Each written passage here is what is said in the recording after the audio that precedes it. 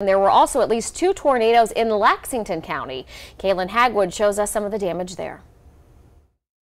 I'm in Lexington just off Two Notch Road where Sunday storm has caused some serious damage. This tree is huge. The top of it is probably twice my size and I'm told it came down around 7 o'clock last night destroying this man's utility shed. His name is Nathan Dooley and he says he and his wife were actually home watching News 19 when he heard that the storm was coming near them. So he says they got down on the floor and within a matter of minutes the storm had passed through, flinging tree limbs onto his house, ripping off shingles, destroying his car carport and even ruining his granddaughter's fence next door. We were watching the reports of Jim Gandy and, and uh, my wife said, those roads he's mentioned is real close by. It just, uh, a noise and then splish and splash and crump and all that. And these, all these trees started popping. You could hear them pop. We came out last night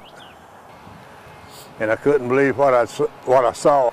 Thankfully, he and his wife are okay and they are getting assistance. He says the only thing he's missing now is a few extra hours of sleep from last night. In Lexington, I'm Kaylin Hagwood.